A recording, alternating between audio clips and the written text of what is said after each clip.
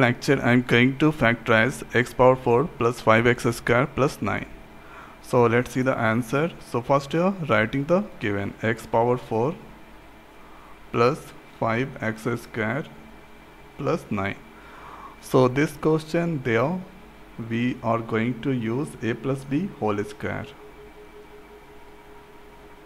The formula is a square plus b square plus 2ab so this we can write x power 4 and here 9 plus 5x square.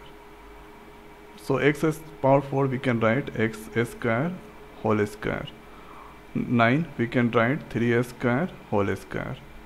And thereafter a square plus b square plus 2ab that means 2 into suppose this a this b x square into 3 that comes 6x square.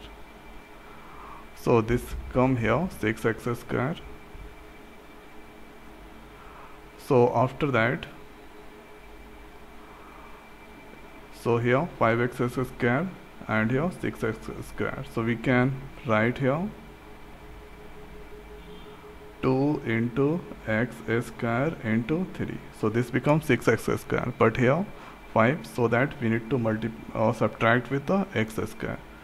So if you calculate then that is equal to 5x square.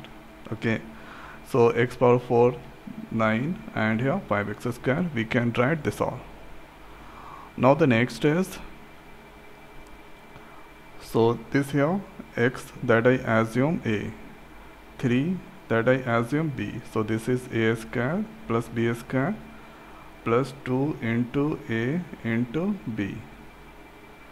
Okay so this is equal to a plus b whole square. That means x square plus 3 whole square. And this here minus x square that right. So in place of this we can assume a this uh, we can assume b so whole square power square between minus. So this we can write a plus b a minus b. That means here x square plus 3 plus x. The next is x square plus 3 minus x. Or we can write here x square plus x plus 3 and the next is x square minus x plus 3 so this is the final factorization of this polynomial.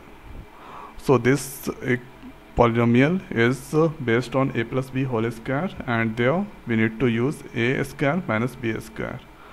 So write the given then after write this and here x power 4 we can write this one 9 we can write 3 whole square 2ab 2 into a into b.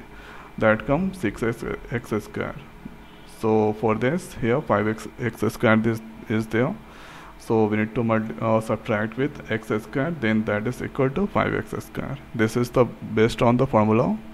And use this formula. Here x square then next uh, we should use a square minus b square formula then a plus b a minus b. And after doing that here you can get this so this is the way we can do the factorization of this polynomial. So now in this video it's over. So thanks for watching. See next video. Thank you